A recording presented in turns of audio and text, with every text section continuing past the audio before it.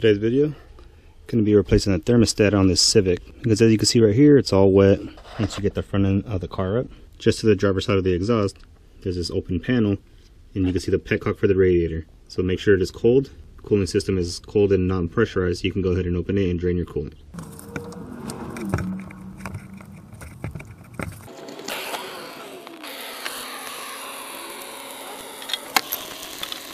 Gonna go ahead and take off this upper clamp this upper hose.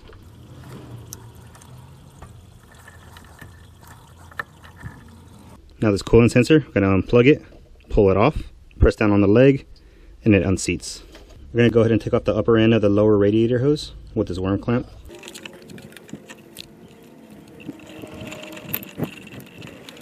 Now with the lower hose off, we can just go ahead and take off the two bolts that hold the thermostat housing. 10 millimeter for the housing mounts,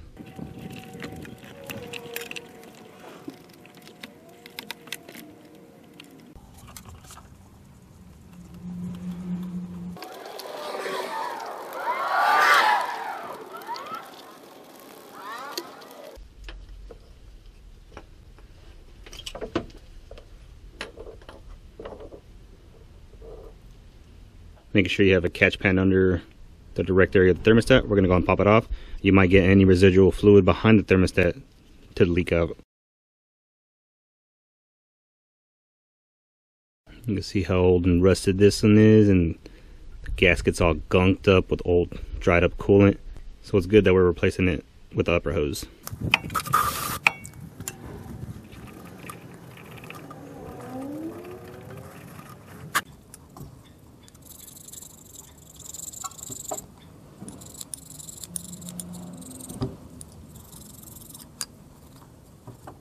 Put our new gasket on our new thermostat.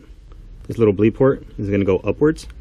I'll install a picture right here of the guide slots that's in the head.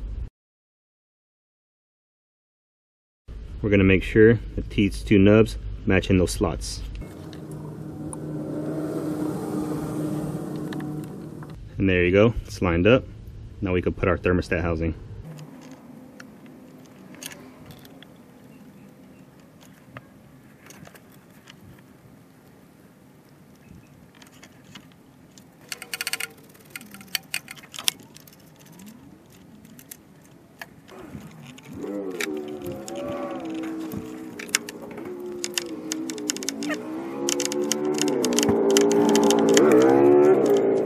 Our connector back on.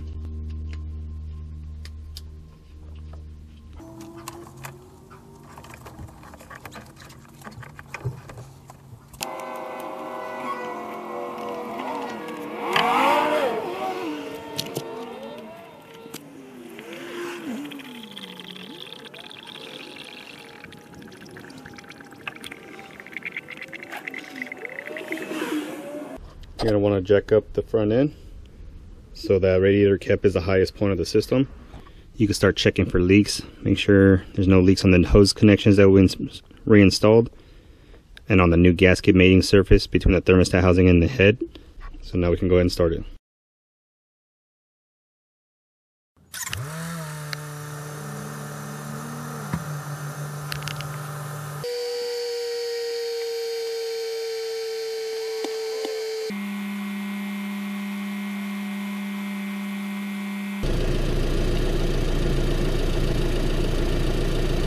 Getting coolant up top. Doesn't look like we're getting any more leaks. Nothing coming out of the upper radiator hose. The gasket is sealing between the thermostat housing and the engine. Nothing coming out of the lower radiator hose. So we are good to go. Now the temp is up. I'm getting full heat out of the, the vents. And we're good to go. And that's how you replace the thermostats on these Honda Civics. Hopefully this video helps y'all. Y'all have a good one.